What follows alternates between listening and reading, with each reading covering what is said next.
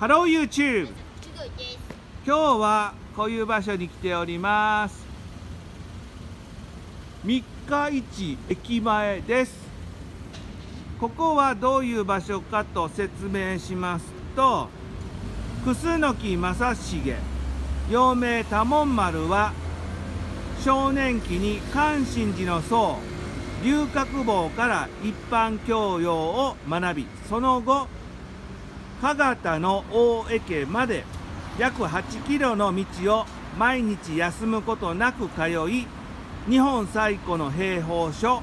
当選教を学び和の精神により国と人々の平穏を確立すべきとの教えを受けました。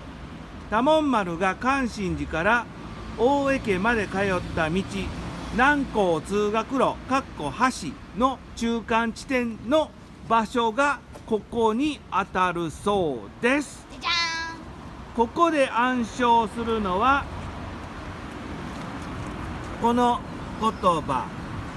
です。ではお願いします。日本人は世界でも清めである清める民族です。清める民族は目先のことを見るだけでなく20年30年100年先の山を見かつその山の下の養分たっぷり蓄えた清らかな地下水を見そして山の下へと続くただただそこに住む民を潤していくことを自分の使命としそこに喜びを見出し見出していきます。なんとうちなんと美しく壮大な心を持つ民族でしょうか。気がついたものは今からでも世のため人のために己の目を向きそれぞれの分野に一本でも多くの手を植え日本の戦士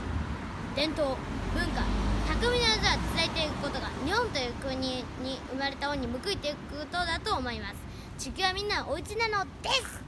はいありがとうございます。ではいってらっしゃい。